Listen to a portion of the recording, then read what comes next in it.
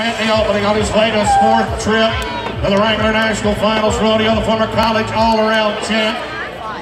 Of Salinas, Kissimmee this year. Team Ford Bucket Jig Winn Ratliff. Number six in the world. That horse you saw in the video they called Good Time Charlie. Ten trips to the National Finals Rodeo with this great bucket horse from Pete Carr. I want you to watch. This is going to be a clash of titans right here. Two of the very best in the world. We talk about bucking horses and bucking horse riders. Good time chart. Winn rep. Number six man in the world says, let's ride.